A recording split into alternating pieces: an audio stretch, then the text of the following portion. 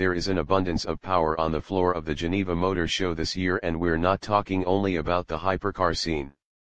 German tuner Brabus brought out the big guns this year and they introduced the Rocket 900 model to a live audience for the first time in Switzerland. Yes, this might not be the perfect place to unveil such a monstrous German creation as the country they are currently in is known for its peaceful ways and stern neutrality. The Brabus Rocket 900 is an S65 AMG at its core that had its 6-liter V12 twin-turbo plant drastically upgraded to give a new meaning to the land rocket metaphor. That's because unlike the stock car, the upgraded version now has 900 HP and 1106 lb-ft, 1500 Nm, of torque at its disposal, numbers that simply put to shame the original 621 HP and 738 lb-ft, 1000 Nm, of twist. Wondering how those figures were possible? Well, the tuners bored the engine block to 6.3 liters and they also added a new set of turbochargers that were developed in-house. A new exhaust system and, of course, a new ECU map are all the tricks they needed to get it up to such copious amounts of power. The differential at the back had to be changed to cope with the extra muscle and so was the transmission that was limited to 1200 Nm, 885 lb-ft, of torque.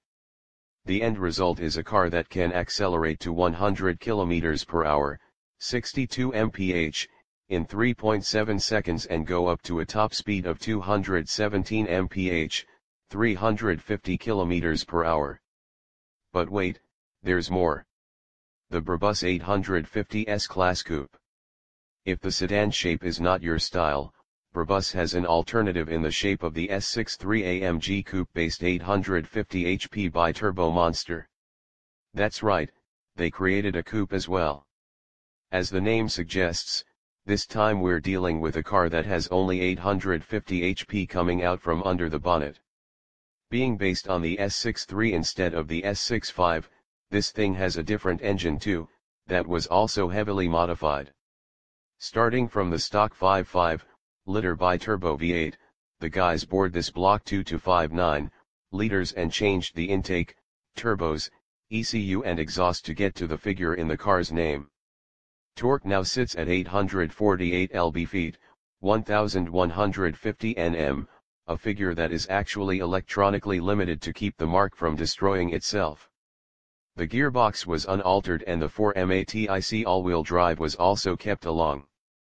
That means that 62 mph, 100 km per hour, comes up on the speedometer 3.5 seconds after launching while the top speed is limited to 350 km per hour, 217 mph, as well due to tire limitations.